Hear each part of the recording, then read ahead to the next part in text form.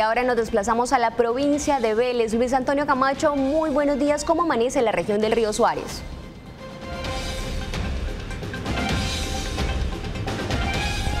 Feliz jueves para todos. Pues la noticia destacada de esta mañana aquí en el municipio de Barbosa tiene que ver con la remarcación de las señales de tránsito horizontales en las principales vías de esta localidad.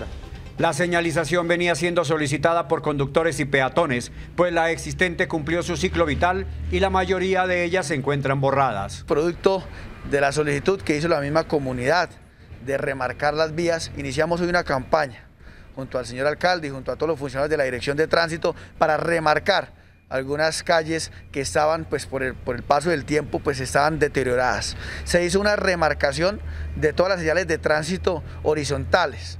Debido al escaso presupuesto con que cuenta la Dirección de Tránsito de Barbosa, sus directivas tomaron la decisión de solicitar a los mismos comerciantes y transportadores financiar la campaña la cual recibió el respaldo unánime, dada la necesidad de implementarla a la mayor brevedad posible. Quiero manifestarles que esto se hizo producto de una recolecta que hicimos con los pequeños, medianos y grandes comerciantes del municipio. Entonces seguiremos con esta campaña y esperamos llegar al frente a los colegios, llegar a las zonas más afectadas, donde estas demarcaciones pues, son esenciales para mantener el orden en temas de movilidad. Inicialmente se intervendrán las principales vías de la Puerta de Oro de Santander para en una próxima jornada continuar con la campaña. En referencia a la demarcación de las vías, es un trabajo muy importante, un trabajo que de hacía muchísimos años no se había desarrollado. Eh, influye mucho en el mejoramiento de la movilidad del municipio, en que la comunidad se oriente.